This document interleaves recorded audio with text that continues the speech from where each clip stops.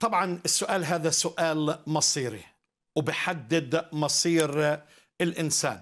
ولأنه إحنا بنتكلم عن موضوع في غاية الأهمية خلينا نبتدي بالتعريف. ما هو تعريف الحياة الأبدية؟ أشكرك. يعني موضوع الحياة الأبدية موضوع مهم لأنه زي ما حضرتك أشرت يتكلم عن المصير الأبدي. مم. والمصير الأبدي هو الشغل الشاغل لأي إنسان موجود على الأرض. مم.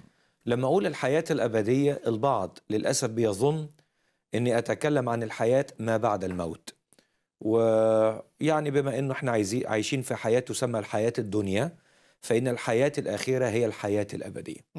لكن الحقيقة الحياة الأبدية ليست فقط آه، طول حياة يعني حياة طويلة لا تنتهي لكن الحياة الأبدية هي صنف حياة لما أقول عنها صنف حياة يعني نوع حياة.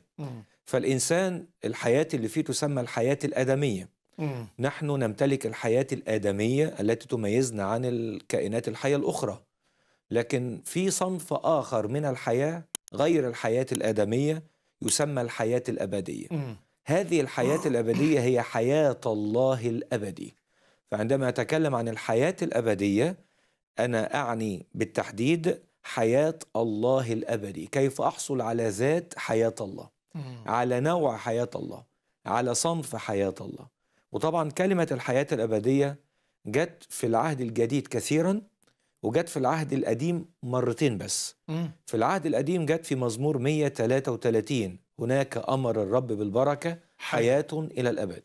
وجاءت في سفر دانيال أصح 12 لكن في العهد الجديد جاءت في المز... ال- الأناجيل الإزائية متى مرقس لوقا وجت بمعنى وجت في إنجيل يوحنا وكتابات يوحنا بمعنى آخر وجاءت في كتابات بولس بمعنى آخر.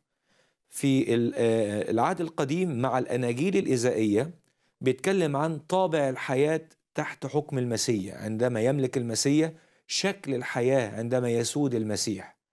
لكن إنجيل يوحنا مع كتابات يوحنا تتكلم عن الحياة الأبدية باعتبارها صنف حياة الله الأبدي اللي بناله هنا بالإيمان القلبي بشخص المسيح. فإذا نحن بنتكلم عن حياة ذات الله أنا بحصل عليها في الحاضر مش بالضرورة إنه بعد الممات. عشان كده يوحنا 3:16 لكي لا يهلك كل من يؤمن به بل تكون له الحياة الأبدية. من يؤمن بالإبن الآن له حياة أبدية. وهذه الحياة بتبتدي هنا على الأرض الحياة الأبدية.